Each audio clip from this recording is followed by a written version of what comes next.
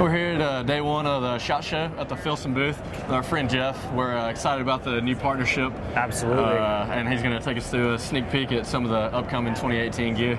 So, uh, Jeff with Filson, we're super excited with our new partnership with Mossy Oak. Uh, we're releasing the original Shadowgrass pattern um, with Filson's signature shelter cloth wax cotton canvas in a, in a handful of items. Uh, first, we've got our uh, original Packer hat, which is coming in uh, Mossy Oak Shadowgrass.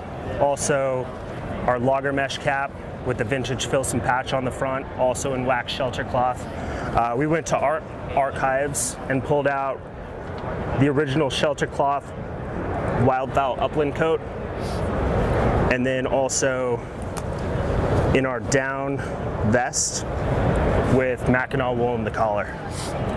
Yeah, we've already uh, we've already been back home. It's been nine, ten degrees, close to zero degree wind chill, and we've uh, snuck a few of the samples out. And we've Perfect. been hunting them the past couple weeks, and man, they're they're incredible. They look good, and they uh, uh, only going to get better with age. Absolutely. And uh, just like any other Filson item, it's guaranteed for life, and uh, most of it's made in Seattle, Washington.